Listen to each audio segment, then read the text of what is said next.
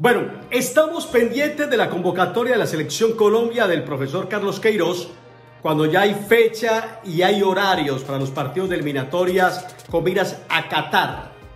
Colombia va a jugar el 9 de octubre en el Estadio Metropolitano de Barranquilla frente a Venezuela 6 y 30 de la tarde. Pero me llama poderosamente la atención algo. A pesar de la pandemia, hay mucho de dónde escoger mucho jugador regado en el mundo que puede vestir la camiseta de la selección Colombia. Ahora, los referentes dentro de los pocos partidos que se han ido jugando previo a estas eliminatorias en territorio europeo, lo mismo que en territorio latinoamericano, pues esos referentes andan muy bien.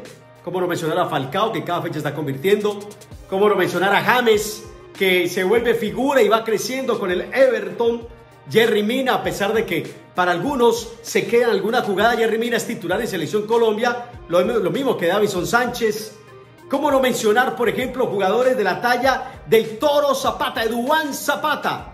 Jugador con una envergadura, con una grandeza, cuadrado, por favor, campeón con la Juventus.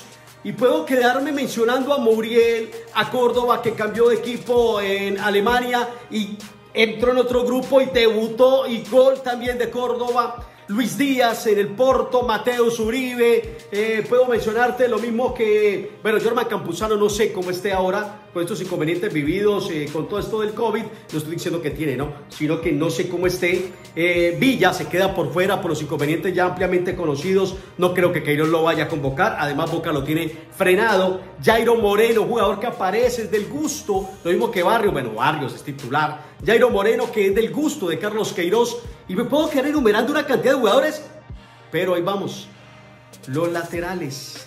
Porque también Murillo, el otro central, también anda bien. Los laterales de Colombia, Santiago Arias. Hace rato no moja y no moja bien. Fran Fabra, lo mismo que Jorman Campuzano. No se sabe.